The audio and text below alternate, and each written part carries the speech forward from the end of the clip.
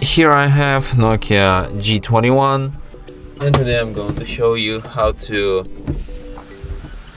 um, scan QR codes on this device. So firstly you have to open camera, then you have to tap here to access its settings. And here in settings you have to enable feature scan QR code.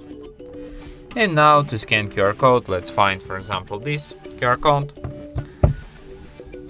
And when we see it with our camera, as you can see it suggests us open in browser the link which is being encoded here. So I just tap it, tap on this notification here and we can see what's being encoded to this QR code. So easily. And that's it. Thanks for watching. If you find this tutorial useful, don't forget to hit that like button and subscribe to our channel.